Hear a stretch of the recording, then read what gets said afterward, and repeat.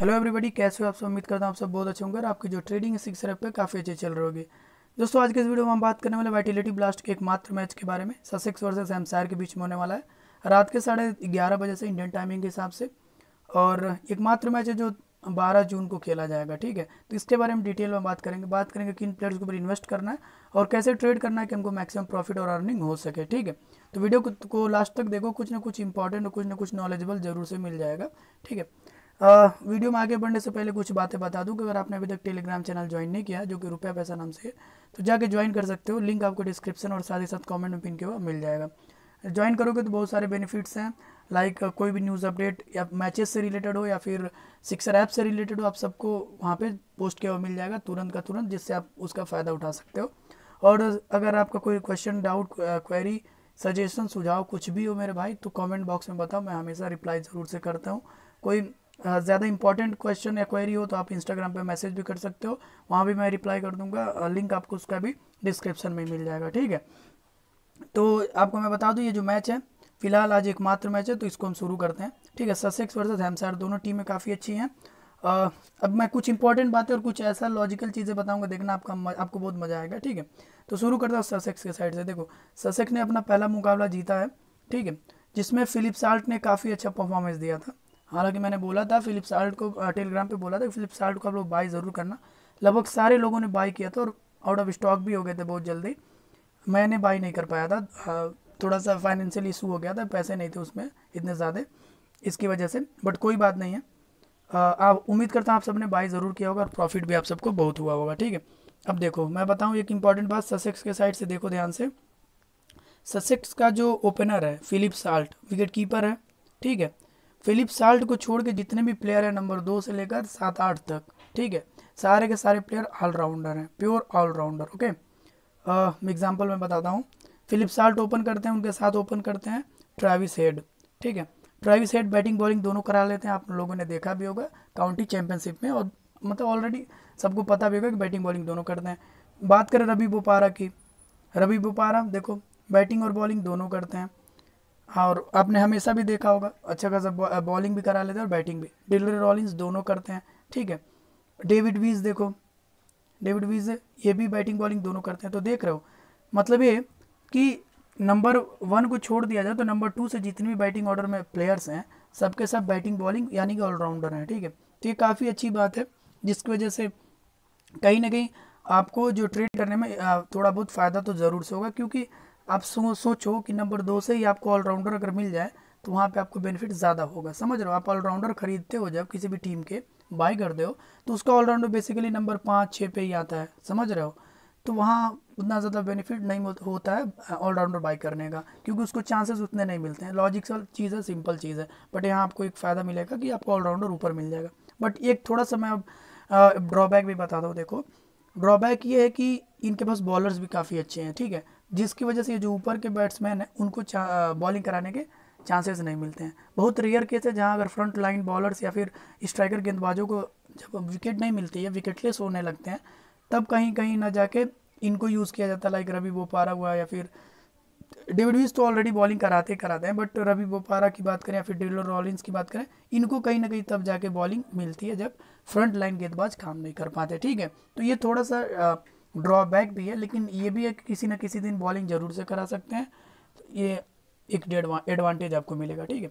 चलो मैं बताता हूँ ट्रेड किन के ऊपर करना है। डीलर रॉलिंस देख सकते हो थर्टी वन के प्राइस पे हैं। इनका ऑल टाइम हाई काफ़ी ज़्यादा और ऑल टाइम लो पे चल रहे हैं फ़िलहाल ठीक है? बैटिंग बॉलिंग दोनों करते हैं तो और लॉन्ग हिटिंग करते हैं मतलब लब, पारी भले लंबी हो ना हो लेकिन स्ट्राइक रेट काफ़ी लंबी चलती है इनकी। ये सारे फैक्टर्स हमको मजबूर कर रहे हैं कि हम इनके ऊपर ट्रेड करें ठीक है?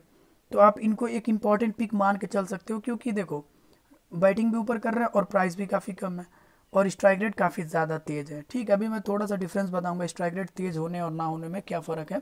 तो स्ट्राइक रेट तेज़ है जिसकी वजह से अगर थोड़ा बहुत भी बीस पच्चीस रन भी तेज़ी से बनाते हैं तो जो इनका इम्पैक्ट होगा ना मैच पे ओवर में, वो ज़्यादा होगा जिसकी वजह से प्राइस बहुत तेज़ी से बढ़ेगी।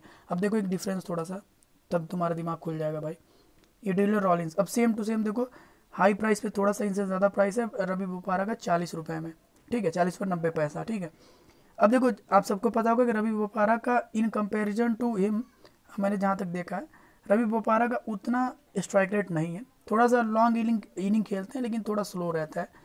हाँ मैं ऐसा नहीं बोल रहा कि स्ट्राइक रेट अच्छा नहीं रहता है बट थोड़ा स्लो रहता है इन कंपैरिजन टू रॉलिंग्स ठीक है। तो ये होता है कि इनका इम्पैक्ट फिर ओवर बाई ओवर कम होता जाएगा। जिसकी वजह से इनकी प्राइस तेज़ी से नहीं बढ़ती है। ठीक है, हालाँकि अच्छे प्लेयर है रवि बोपारा भी, मैं इनको भी इंपॉर्टेंट ही बोलूँगा। तो ये दोनों प्लेयर्स हमारे लिए इंपॉर्टेंट है। और स्ट्राइक रेट क्यों मैटर करता है, मैंने आपको समझा भी दिया है, ठीक है। तो यहाँ से दोनों प्लेयर्स को आप बाई कर सकते हो, या फिर आप चाहते हो तो इन दोनों में से किसी एक को बाई कर सकते हो। मोस्ट इंपॉर्टेंटली आप कहो तो प्राइस के हिसाब से देखोगे तो रॉलिंस को बाई करोगे। और अगर थोड़ा सा ट्रस्ट और कॉन्फिडेंस की बात करोगे तो रवि बोपारा पे है तब उनके ऊपर ट्रेड करो क्योंकि ज़ाहिर सी बात है देखो रवि बोपारा ने बहुत सारे मैचेस खेले हैं इंटरनेशनल लीग्स और टी ट्वेंटी जितने भी मैचेस सब में बहुत अच्छा परफॉर्म भी किया है और काफ़ी एक्सपीरियंस है हद से ज़्यादा एक्सपीरियंस काफ़ी ओल्ड प्लेयर है ठीक है? तो इसकी वजह से अदरवाइज़ रॉलिंस भी काफ़ी अच्छे हैं ठीक है? तो दोनों इंपॉर्टेंट पिक हो जाते हैं हमारे लिए। आ, बात करें फिलिप साल्ट के तो देखो मैं इनके ऊपर ट्रेड आज भी नहीं करूँगा और आपको मैं करने बोलता हूँ आप कंसिडर कर सकते हो क्योंकि 46 मान के चलो तो 47 के प्राइस में है अभी। मैच के दौरान आपको 45 तक मिल जाएँगे। लेकिन जो इनका ऑल टाइम हाई है दोस्तों, वो ज़्यादा नहीं है। पचपन के आसपास या पचास के आसपास ही है। ठीक है? तो मतलब है कि इन्होंने अभी लास्ट ट्वेंटी एट डेज़ में या फिर लास्ट ट्वेंटी एट मैचेज में सॉरी मैंने डेज़ बोल दिया। लास्ट ट्वेंटी एट मैचेज में अपने इन्होंने पचास से ऊपर का प्राइस नहीं दिया हुआ है। तो इससे क्या पता चलता है कि इनकी जो कैपेबिलिटी है, वो अट्ठाईस मैचों में अगर पचास रुपये तक ही है तो मैं इसी को एक देखो मैं सीधा सीधा मैं प्लेयर्स का लेवल भी समझता हूँ लेकिन मैं स्टेट को भी मानता हूँ। हद से ज़्यादा स्टेट मानना भी सही है। देखो अब पचास से ऊपर ये प्लेयर प्राइस नहीं दिया है तो इसका मतलब क्या कि इसकी जो आ, जो आ, मैं बोलूँ कंसिस्टेंसी वो कम है। लाइक इन्होंने अभी पिछले मैच अच्छा परफॉर्म किया अब दो तीन मैचों में फिर बुरा खेलेंगे फिर इनका जो प्राइस है डाउन जाएगा फिर अच्छा खेलेंगे तो ये जो प्राइस टैग है फिफ्टी का इसको क्रॉस नहीं कर पाएँगे समझ रहे हो? हालाँकि देखो रिकॉर्ड्स कभी भी बन सकते हैं, कोई भी बना सकता है, इसमें नो डाउट कोई दो राय नहीं है, लेकिन जहाँ तक हमको अभी मेरे पास डेटा है, हम लोगों के पास डेटा है, उसके अनुसार पचास का इन्होंने टैग क्रॉस नहीं किया, फिर जितना भी ऑल टाइम आई हो, पचास पचपन ही होगा, ठीक है? तो ये मैं बात बोल रहा हूँ। हालाँकि आप इनके ऊपर ट्रेड ज़रूर कर सकते हो कंसीडर कर सकते हो, मैं नहीं करूँगा, ठीक है? मैं इनके ऊपर ट्रेड नहीं करूँगा। और अगर एक चीज़ और भी है जो इनके ऊपर ट्रेड ना करने का रीज़न है, वो ये है कि इन्होंने देखो 36 परसेंट के प्रॉफिट में है। यानी कि अगर आपने इनको पिछले मैच में बाई किया होता तो अभी आपके पास कुछ प्रॉफिट ज़रूर होता। समझ रहे हो? प्रॉफिट होता कि नहीं होता? लेकिन अभी आप बाई करोगे आज के दिन तो ये समझो कि आपने जो पिछला प्रॉफिट इन्होंने दिया है, आपने उतना लॉस में इनको खरीदा है।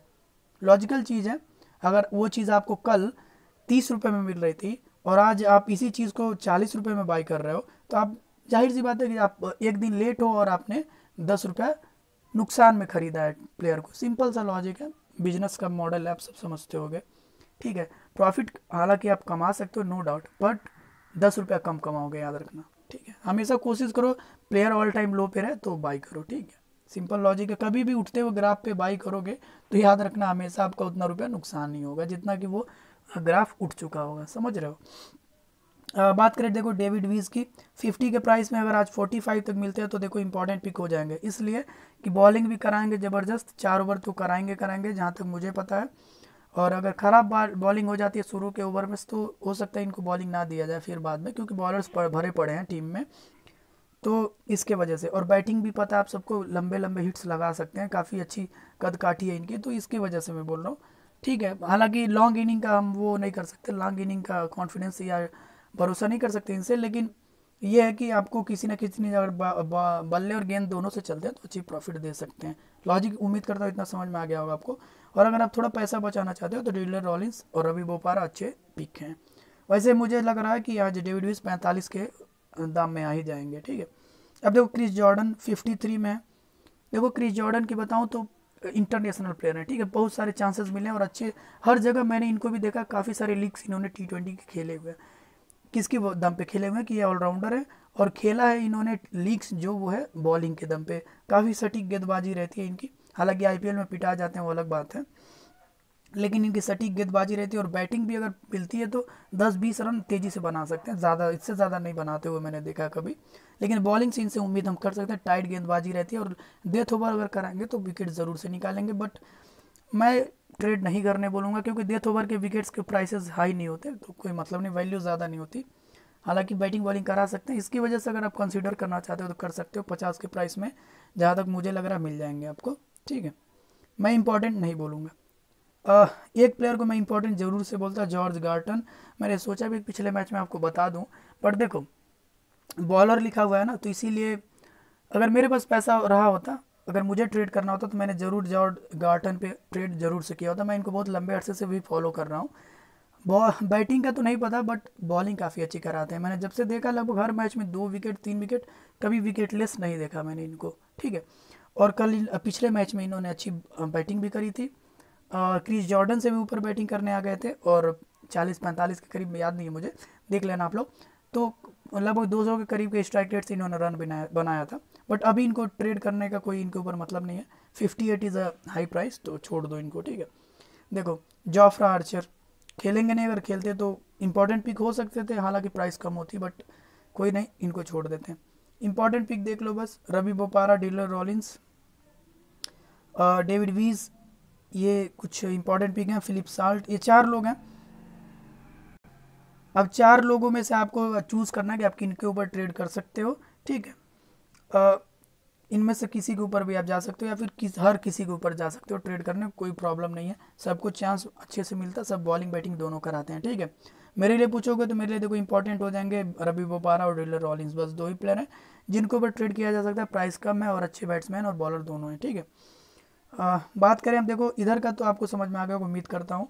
अब अपना भी दिमाग लगाना और आपका जिसके ऊपर कॉन्फिडेंस बैठता हो जिसके ऊपर आपको ट्रस्ट लगता हो ना भाई उसके ऊपर ही ट्रेड करना ट्रस्ट आपका बहुत मैटर करता है। अदरवाइज़ मेरा सुन के और अगेंस्ट द ट्रस्ट आप खेलोगे तो आपको बहुत दुख होगा।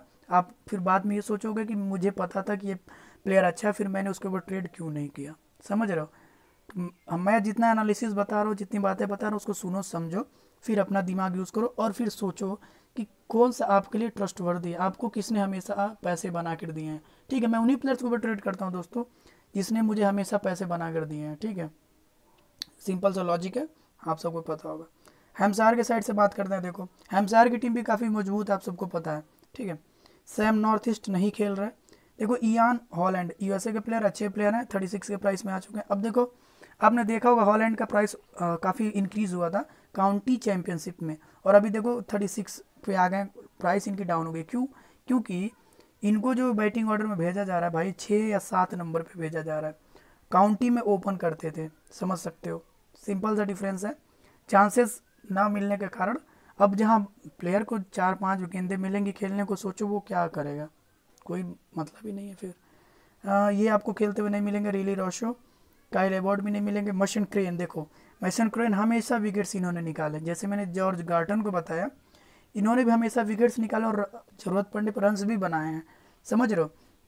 मैं एक बात आपको क्लियर बताना चाहता हूँ दोस्तों, ध्यान से सुनना। इंग्लिश पिचेस पे जो स्पिनर्स है ना, उनका जो विकेट लेने का क्षमता वो थोड़ा सा ज़्यादा रहता है। In comparison to fast bowlers like चाहे वो टेस्ट हो, चाहे वो टी ट्वेंटी हो, ठीक है? टी ट्वेंटी में ज़्यादातर स्पिनर्स हमेशा विकेट्स निकालते हैं, मैंने देखा है। एग्जाम्पल्स में बहुत सारे हैं कैलम पर्किंसन या फिर मैथ्यू पर्किंसन अब इन इन लोग को देख सकते हो। तो इसी प्रकार से लियाम लिविंग स्टोन को देख लो, ये लोग मतलब विकेट्स निकाल लेते हैं, जितने भी स्पिनर डैनी ब्रिक्स को देख लो, ये सब अच्छे प्लेयर्स हैं और विकेट्स हमेशा स्पिनर्स को मिलते ही, मिलते हैं, ठीक है? उनको रन्स भी नहीं जल्दी पड़ते, वो अलग बात है, किसी दिन रन पड़ गए, वो खैर अलग की बात है, मैंने जितना तक फॉलो किया वहाँ पर विकेट ज़रूर मिलते हैं, ठीक है? तो मसन क्रेन के ऊपर देखो, अभी 48 में तो थोड़ा सा मैं इनके ऊपर कंसीडर करने बोलूँगा इंपॉर्टेंट तो नहीं बोलूँगा, समझ रहे हो? इंपॉर्टेंट मेरे लिए ये प्लेयर है, देखो। James Vince. मैंने हालाँकि मैंने इनको ऑलरेडी ट्रेड कर लिया है। आपको भी मैं कहूँगा इस प्राइस पे। दोस्तों 48 इस टाइम चल रहा है। मैच के दौरान मुझे लगता है 45 तक अगर आते हैं 46 तक तो ज़रूर से बाई करना। ओपन करते हैं और काफ़ी ज़्यादा कैपेबिलिटी है भाई। इंग्लैंड के लिए खेल चुके हैं प्लेयर और अगर ऑल टाइम हाई की बात करूँ तो सत्तर के करीब की है। तो आप समझ सकते हो, बीस से पच्चीस रुपये का ट्रेड आप कर सकते हो बहुत आसानी से पर शेयर के हिसाब से। ये मैं डेटा के हिसाब से बता रहा हूँ, ये कम ज़्यादा भी हो सकता है। तो जेम्स विंस इंपॉर्टेंट पिक है मेरे लिए। इनको बाई करना काफ़ी इंपॉर्टेंट है। सिंपल सा लॉजिक है। ओपन करते हैं। अच्छे प्लेयर हैं लॉन्ग लास्टिंग प्लेयर हैं, लंबी पारियाँ खेल। तो दोस्तों, आप जेम्स विंस के ऊपर ज़रूर से ट्रेड कर सकते हो, ठीक है? अब मैं अगले प्लेयर की बात करूँ तो तबरेज समझी नहीं खेलेंगे। लियाम डाउसन देखो, मैंने पहले दिन जब इन हेमसायर का पहला मैच था, तभी मैंने बोला था कि जेम्स विंस और लियाम डाउसन दोनों इंपॉर्टेंट पिक है। अगर आपने उस दिन उस बाय किया होगा इन लोगों को तो ज़रूर से आपको प्रॉफिट हुआ होगा। हालाँकि देखो, अभी लियाम डाउसन 51 में आ चुके हैं। थोड़ा सा मैं अभी इनको कंसीडर करने बोलूँगा। उस दिन ये मेरे लिए इंपॉर्टेंट है, मैंने बाई किया था, मुझे प्रॉफिट हुआ है। अगर आपने भी बाई किया होगा लियाम डाउसन को तो प्रॉफिट होगा। देखो, मैं एक इंपॉर्टेंट चीज़ फिर से सुनो, ध्यान से। अगर आप काउंटी चैंपियनशिप को फॉलो कर रहे होगे, ठीक है? और ये टी ट्वेंटी ब्लास्ट तो वहाँ पे आप जो प्लेयर्स देख रहे हो ना, उनका जो परफॉर्मेंस देख रहे हो, वो एकदम अपोजिट मिलेगा। लाइक लुई रिस को आपने देखा काउंटी चैम्पियनशिप में, ठीक है? वहीं आप लियाम डाउसन को देखा आपने लियाम लिविंग स्टोन को देखा। ये जितने भी अच्छे प्लेयर्स हैं, ठीक है? इनका प्रदर्शन, इनका परफॉर्मेंस काफ़ी लो था। काउंटी चैंपियनशिप में, क्योंकि ये, मैं बताऊँ, ये काफ़ी तेज स्ट्राइक रेट वाले प्लेयर हैं और काफ़ी फास्ट इनिंग खेलने वाले मतलब ये छोटे फॉर्मेट वाले प्लेयर हैं, जहाँ तक मुझे पता है। अब मैं अगर बात करूँ जेम्स विंस की तो देखो जेम्स विंस बैटिंग सॉरी लंबे फॉर्मेट भी इन्होंने खेले हुए हैं। बहुत सारे टेस्ट मैचेस में भी अच्छा प्रदर्शन किया हुआ है वनडे में भी और टी ट्वेंटी में। तो इनकी बात मैं नहीं करूँगा। ये चीज़ मैं बताऊँ तो जैसे कि लियाम डाउसन ने आपने देखा काउंटी चैंपियनशिप में अच्छी बॉलिंग हो रही थी मतलब विकेट्स लेस रहते थे। बैटिंग में हमेशा फ्लॉप लेकिन वहीं देखो आप, जैसे ही टी ट्वेंटी आता है ब्लास्ट वहाँ पे इनकी बैटिंग बॉलिंग दोनों सुधर जाती है। हालाँकि बहुत सारे टी ट्वेंटी लीग्स भी खेले हुए इन्होंने। ढाका प्रीमियर लीग या फिर कोई भी, ढाका सॉरी मैंने बोल दिया, बांग्लादेश प्रीमियर लीग या फिर पी एस एल इन सब में भी इन्होंने अच्छी बैटिंग और बॉलिंग करी हुई है, ठीक है। अब वहीं देखो लुई रीस को आपने देखा किस प्रकार से उन्होंने हमें डाउनफॉल दिया था लाइक काउंटी चैंपियनशिप में जब उनका अचानक से प्राइस लो हुआ था सबने उनको जोरदार से ख़रीदा था, लेकिन उन्होंने लगातार अपने प्राइस को डाउन किया। अब जैसे देखो, जैसे टी ट्वेंटी आया, वहाँ पे कितनी गजब की उन्होंने शुरुआत करी और अभी तक सिक्सटी एट परसेंट का रिटर्न उन्होंने दे दिया, आप खुद सोचो। तो हमेशा ध्यान रखना, मैं जो प्लेयर्स बोल रहा हूँ, उसके बारे में सुनो और समझो, फिर अपना दिमाग लगाओ और सोचो कि क्या करना है। मैंने हमेशा बहुत, लगभग चार पाँच सालों से मैं फॉलो कर रहा हूँ टी ट्वेंटी ब्लास्ट को इंग्लिश काउंटी का इंग्लिश काउंटी चैंपियनशिप को। और मैंने देखा किस प्रकार से प्लेयर अपोजिट रोल अदा करता है। टेस्ट में और टी ट्वेंटी में ठीक है? तो लियाम डाउसन काफ़ी इंपॉर्टेंट पिक तब थे अभी मैं इनको कंसीडर करने के लिए बोलूँगा ठीक है? देखो इधर देखो। डॉस डार्स ए यार सॉरी हाँ देखो डार्सी शॉर्ट काम क्यों नहीं कर डार्सी शॉर्ट को देखो ऑस्ट्रेलियन प्लेयर हैं। बीबीएल में काफ़ी ज़बरदस्त धमाका किया था इन्होंने आ, कुछ सालों में और जिसकी वजह से इनको चांसेस भी मिले थे राजस्थान रॉयल्स की साइड से खेलने के लिए आईपीएल में। हालाँकि यहाँ पे एकदम फ्लॉप रहे तो मैं आपको बताता हूँ रीज़न सिंपल सा है। एक रीज़न और जान लो इनके फ्लॉप होने का इंडिया में, और काफ़ी चीज़ें जो मैं आपको इंपॉर्टेंट बता दे रहा हूँ। देखो इंडिया में क्या इंडियन पिचेस के इंडियन ग्राउंड्स की वजह से काफ़ी फ्लॉप रहे। वहीं ऑस्ट्रेलिया और इंग्लैंड की बात करूँ, वहाँ के पिचेस फास्ट हैं, सपाट हैं, बल्लेबाजों के लिए काफ़ी यूज़फुल हैं, ठीक है। वहीं देखो इंडियन जो पिचेस हैं इन्होंने इंडियन पिचेस को उतना ज़्यादा टेस्ट नहीं किया है, समझ रहे हो? सिंपल सा लॉजिक है, आप देखते होगे जॉनी बैरिस्टो या फिर David Warner same overseas player हैं, लेकिन इनका बल्ला काफ़ी बोलता है, हद से ज़्यादा बोलता है आईपीएल में। क्योंकि इनको एक्सपीरियंस इन्होंने इंटरनेशनल मैचेस बहुत सारे खेले इंडिया में भी और एब्रॉड में भी इंडिया के इंडियन प्रीमियर लीग में भी खेला हुआ है, जिसकी वजह से इनको अब एक्सपीरियंस हो चुका है और यहाँ पे रन बना देते हैं। बट वहीं डॉर्स डार्सी साठ की बात करें, देखो, एक सीज़न में इनको मिला था, राजस्थान की साइड से खेलने के लिए ओपन कर देते अच्छा परफॉर्मेंस नहीं रहा था उतना ज़्यादा। क्योंकि थोड़ा टाइम लगता है इंडियन पिचेस के ऊपर बैटिंग करने पर हालाँकि वहीं आप देखोगे ऑस्ट्रेलियन पिचेस या फिर इंग्लैंड के पिचेस पे काफ़ी अच्छा प्रदर्शन करते हैं। ऑस्ट्रेलिया में तो मतलब आप जान लो कि बीबीएल में इन्होंने हाईएस्ट रन गेटर भी रहे हुए थे। ठीक है? ज़बरदस्त बैटिंग और बॉलिंग वहाँ के अगर मैं बात करूँ बी की तो हमेशा ये man of the match man of the match batting bowling दोनों से अच्छा परफॉर्मेंस तो ये सब चीज़ें पिचेस का भी डिफरेंस है ग्राउंड का एक्सपीरियंस का, ये सब सारी चीज़ें मैटर करती हैं। तो वही चीज़ मैं बोल रहा हूँ, यहाँ पे इंग्लिश पिचेस पे भी काफ़ी अच्छा परफॉर्म करेंगे। लिख के ले लो बैटिंग बॉलिंग दोनों कराते हैं। हालाँकि प्राइस काफ़ी ज़्यादा है, इसलिए आप इनको ट्रेड नहीं करोगे। ठीक है? अब देखो, अगर ये फिफ्टी सेवन पे विराट कोहली होते फाफ प्लेसी होते, या फिर बाबर आज़म होते तो इनको मैं आँख बंद करके पिक कर लेता, क्योंकि fifty seven is the least amount we can pay for Babar Azam, Virat Kohli और रोहित शर्मा शिखर धवन लाइक इन लोग प्लेयर के के ऊपर अगर पचास, साठ, सत्तर रुपया तक भी ट्रेड करोगे ना तो आपको कम लगेगा, क्योंकि इनका स्टेटस इनका लेवल काफ़ी हाई है। और वहीं मैं बात करूँ डासी साठ की, इनका भी लेवल काफ़ी हाई है बट बी में है, अपने पीछे पे ऊपर है। और थोड़ा सा जो कंसिस्टेंसी चाहिए वो नहीं है, जो कि विराट कोहली में देखने को मिल जाएगा आपको बाबर आज़म में देखने को मिल जाएगा, ऐसे कुछ प्लेयर्स हैं। आपको समझना डेविड वार्नर में आप देख सकते हो, ज़बरदस्त कंसिस्टेंसी है तो ये मैं डिफरेंस आपको समझा रहा हूँ वीडियो लंबा हो जाता है बट कुछ ना कुछ नॉलेज ज़रूर आपको मिलेगा, ठीक है? क्रिस मॉरिस नहीं खेलते हुए मिल रहा है तो इस हिसाब से इंपॉर्टेंट प्लेयर एक बार से मैं वापस से रिवाइज करा दे रहा हूँ, देखो इंपॉर्टेंट अगर और कंसिडर करने की बात करोगे तो देखो लियाम डाउसन कंसिडर जेम्स मिस हद से ज़्यादा इंपॉर्टेंट इंपॉर्टेंट ही नहीं, हद से ज़्यादा इंपॉर्टेंट मसन क्रेन हाँ आप कंसीडर कर सकते हो, पैसा बचता है तो और कोई बचता नहीं है ठीक है। आ, बात करूँ ससेक्स के साइड से देखो। Just a minute. या या। हाँ देखो। ये इम्पोर्टेंट रवि बुबारा इम्पोर्टेंट ये दोनों इम्पोर्टेंट है। हालाँकि आप इसके बाद फिलिप साल्ट और डेविस बीस पे कंसीडर कर सकते हो और, और आपके लिए भी इंपॉर्टेंट हो सकता है। आपका ट्रस्ट थोड़ा सा देखो किसके ऊपर कॉन्फिडेंस डेवलप हो रहा है ठीक है। ये दोनों को भी आप कंसीडर कर सकते हो सिंपल तो दो इंपॉर्टेंट और चार कंसीडर मैंने बता दिए उम्मीद करता हूँ इतना सारा वीडियो आपको समझ में आएगा और जो मैं कुछ बताया, थोड़ा बहुत जो अपना एक्सपीरियंस है, जो मैंने देखा है इंग्लिश पिचेस के ऊपर इंग्लिश मैचेस के अंदर, वो मैंने आपके साथ शेयर किया। तो उम्मीद करता हूँ उतना आपको समझ में आ गया होगा। कहीं कुछ भूल हो गई हो, कुछ गड़बड़ बोल दिया मैंने तो उसके लिए माफ़ी चाहता हूँ। ठीक है? तो वीडियो में इतना वीडियो अच्छा लगता है तो लाइक करो और दोस्तों के साथ शेयर करो यार। जो आप के दोस्त सिक्सर खेलते हैं या फिर किसी प्लेटफॉर्म पे, जो ट्रेडिंग टाइप के प्लेटफॉर्म है लाइक एक्सचेंज ट्वेंटी टू पे तो वहाँ भी खेलते हैं तो भी आप शेयर करो नॉलेज ज़रूर से मिलेगा। ठीक है? कंटेंट अच्छा लगता है और ऐसे कंटेंट देखना चाहते हो कंटिन्यूसली तो चैनल सब्सक्राइब भी कर सकते हो। कोई ज़ोर ज़बरदस्ती नहीं है, कोई फोर्स नहीं आप कर सकते हो। नो प्रॉब्लम एट ऑल कोई भी क्वेश्चन डाउट क्वेरी कुछ भी हो कमेंट में पूछो।